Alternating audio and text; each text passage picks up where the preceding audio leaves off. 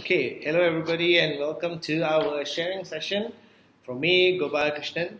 Uh, so, as you guys are aware, um, every month we'll have one sharing session. I missed out two sharing sessions, so I'm trying to compensate. And I will today I want to share on the topic of email marketing basics. This is part one of email marketing basics. Sneaky. part two. Part two will be shared with everyone. Maybe tomorrow or sometime this week while i'm catching up uh, from my sharing activities. So what is email marketing? Um, basically email marketing one of the primary things you need to do is you need to have the proper email marketing software. So if i send haris an email or zilpa an email one-on-one that's not really considered email marketing right it's considered a direct uh, email. Well, how about if I send an email and CC to 500 people? Okay, is that considered email marketing or not? Again, email marketing really depends on the content of the post. So if you're just forwarding funny cat pictures to 1,000 people, then you're not really marketing anything. So that's more like bulk email, bulk email, chain email, whatever it is. But if the same method that you that you uh, send to many people from one person uh, using CC or BCC in Gmail, whatever it is, but you're actually selling something or promoting something, that is considered email marketing. So the very uh, caveman method is to put 500 emails in an email uh, in an Excel sheet, copy everything, put into your Gmail as CC or BCC, and send out to everybody that's okay for you know a few hundred people or less than a hundred that's fine but i think there's a limit to that and if you start sending 10000 people through bcc probably your gmail account will be sh- shut down. So to do email marketing you really need the proper software. And there are many different kind of software. The one that we use is called aweber. So aweber is an email marketing software and it helps you to manage your email list. So you can see all your subscribers in aweber you can uh, download the list in Excel if you want to, but actually you'll have to log in to Aweber to do most of the stuff. So if you, even if you download the list, it's, it's really no point. Uh, but in Aweber itself, you can log in, view each subscriber, and you can send out an email to them. So Aweber is not a, like Gmail. You, I cannot view uh, one subscriber and send them an email individually. No, it's it's created by having uh, lists and segmentation and other stuff but I'll go into that in the second part. So, to do email marketing properly, you need email marketing software that can deliver to thousands and thousands of people uh, very easily without you having to uh, worry about your Gmail account getting spammed because all emails are sent from their server. So, we need email marketing software and we use Aweber. Now, how do we get the subscribers? That is the important thing. So, in order to get subscribers, for email marketing to work, you need a landing page. So a landing page is where you put in uh, landing page is where the visitors would come on your website either from uh, uh, Facebook or social media or any link from any other website and all these visitors end up on the landing page. And from this landing page we put an opt-in form.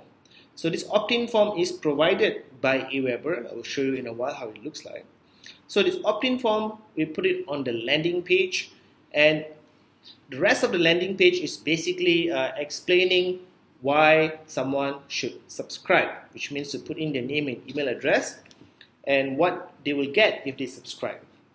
So when somebody goes to your landing page and fills up the opt-in form, so uh, he's considered a subscriber and this is uh, the, the, the formula for this or the metric for this is considered opt-in rate. Opt-in rate basically means out of 100 people who visited your landing page, how many people fill up the opt-in form. If 10 people fill up the opt-in form, then your opt-in rate is 10%. But it doesn't stop there. From the opt-in form, after they filled up the name and email address, there's two ways to add them into your Aweber account.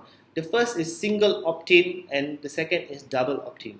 Single opt-in means as soon as they fill the name and email address, click submit, they are added automatically to your Aweber account.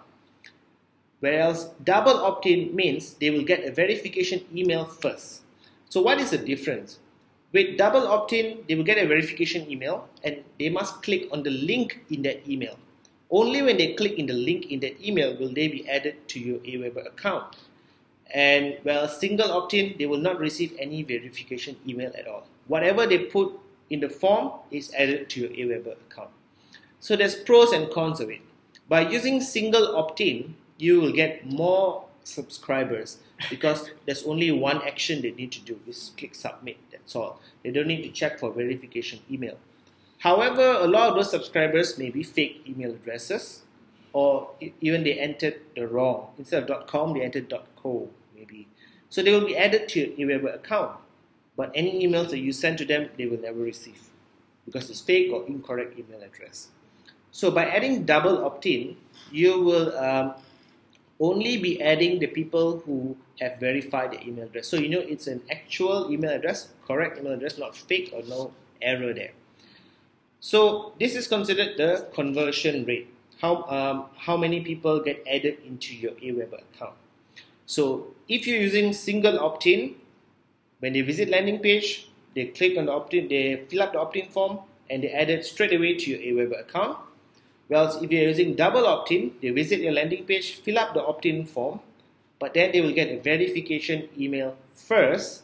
And if they click on the verification email, only then it's added to the Aweber account or email marketing software. So when the subscriber is added to the Aweber account, then Aweber will automatically send them an autoresponder email and then redirect them to the thank you page. The thank you page can be any page that you want. It's, it's created by you. And you can also choose not to enter a thank you page if you want to and just use the autoresponder alone. That's really up to you. So this is an example of the opt-in form that um, I create in our Aweber account. So there are many templates that you can use, but in this example, I'm just going for a very plain looking template because the customization or styling is done ourselves on the website. So you can uh, choose what forms or what fields to have in your in uh, the form. By default, email address is required. You can also add name or you can create a new field and then you can continue to design your form. Now this form you'll put on your landing page as I mentioned. So this is an example of a link tracker landing page. So a landing page is very simple. It's just, it has a headline, sub-headline, and some text there to uh, actually encourage people to subscribe or put in their name and email address. To encourage them, the best way is to maybe give a coupon or some reason why they need to put in their name and email address. In this case, we give a free report.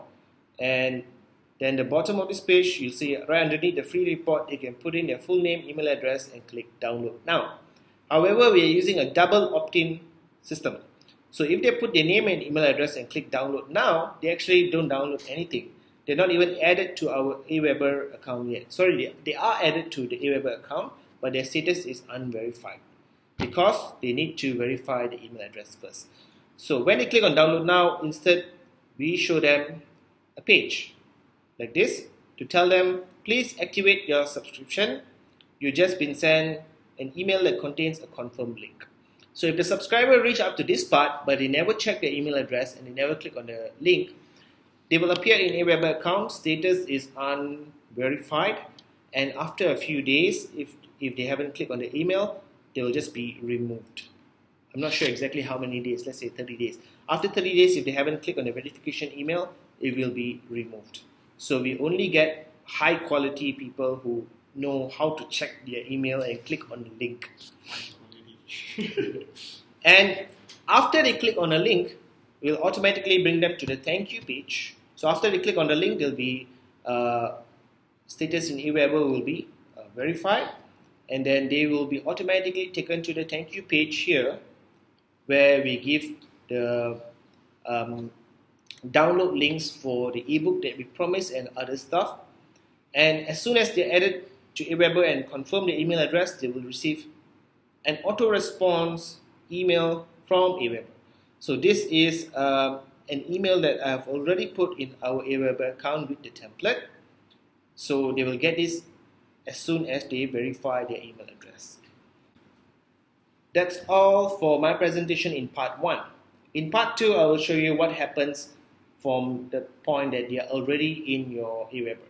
So once they're already in your Aweber account, you can continue to send them email uh, as much as you want actually until they decide to unsubscribe from your Aweber. So in the next part, I will explain what is open rate, what is click-through rate, and other important things about email marketing. Thank you very much.